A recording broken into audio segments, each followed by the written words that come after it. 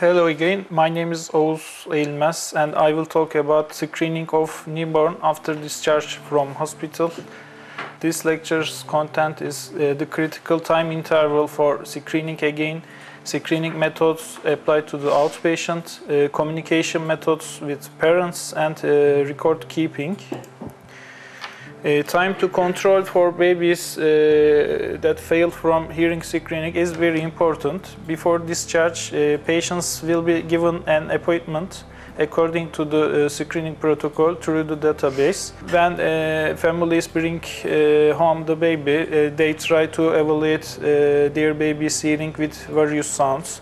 Baby, even if he or she gives reactions to high intensity sound, uh, this situation uh, does not mean that the hearing is normal. About preparation, uh, bringing the baby uh, to the hospital again is a source of concern for families as well as can be troublesome. Preparation is the key point uh, for the scanning uh, conditions be well. Giving information to parents helps the successful completion of the screening process. Just, just as in the screening process performed in hospital, the baby will be quite comfortable, and uh, preferably be asleep. This can be provided by mother's infant uh, feeding prior to appointment time. The testing environment should be quiet, uh, light should be bright, and there should be comfortable seats uh, allowing families to feed their babies easily. Uh, the, the, the test chamber must be large enough in terms of family and baby. Also in the test chamber, uh, there is also necessary to have extra clean sheets. Babies fail from automated uh, ABR in the first scan must uh, not be screened with emission test in the second scan. If the baby has been screened with uh, emission before discharge, it may be appropriate to use the emission after discharge. If the baby is screened with emission and fails, and scanned with uh, automated ABR in the follow-up before being discharged, the uh, ABR should be used after discharge. Even though the infant is followed up for one year, bilateral hearing screening is required after discharge.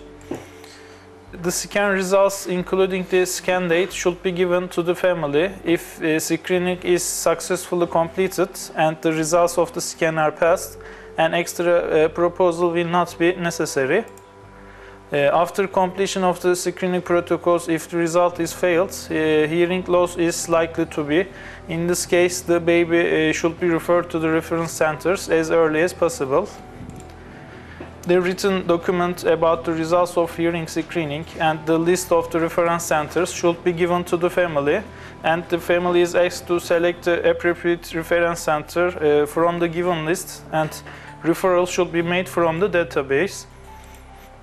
Uh, referral from the database and directing the family to make an appointment is in the responsibility of the staff who makes the screening program. And uh, if babies fails, uh, then uh, families must be informed. you can say your baby didn't pass the screening test. Scanning with this test does not mean us that your baby has a hearing loss that indicates further testing is required and will be done soon. The second step is to make diagnostic hearing tests. These tests are required to contact the reference centers. Baby is taken to follow up when failed from the screening test, informing parents uh, about control tests that will be done when and where is the responsibility of staff who makes the screening that I mentioned before.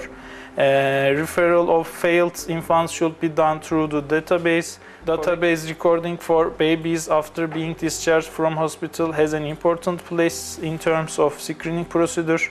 Records uh, before discharge should be checked, updated, and if there is a change, it must be corrected. Uh, be aware of the whole contact information of the family, such as home addresses or telephone number is correct after birth, if there is a change in the name of the baby or the name was put to the baby, it should be recorded.